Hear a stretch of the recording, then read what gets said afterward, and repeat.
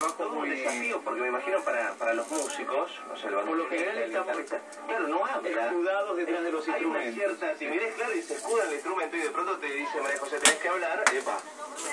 Eh, bravo.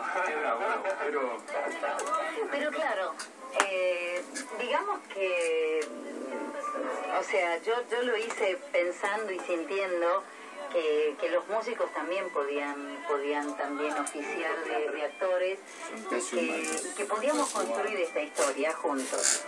Y bueno, ahí está Pablo Fraguela con todas sus, sus frases y sus, sus ocurrencias y también está Fabián Bertero.